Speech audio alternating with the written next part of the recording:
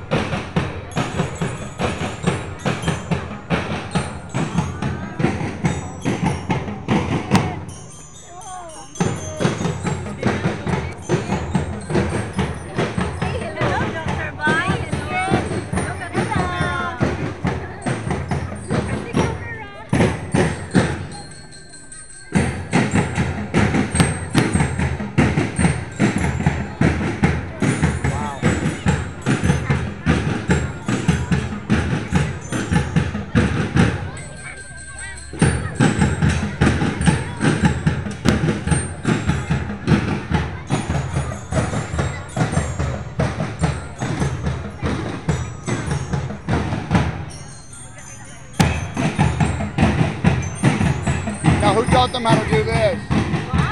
Who taught them how to do this? Which one? Which which is the which is the band leader?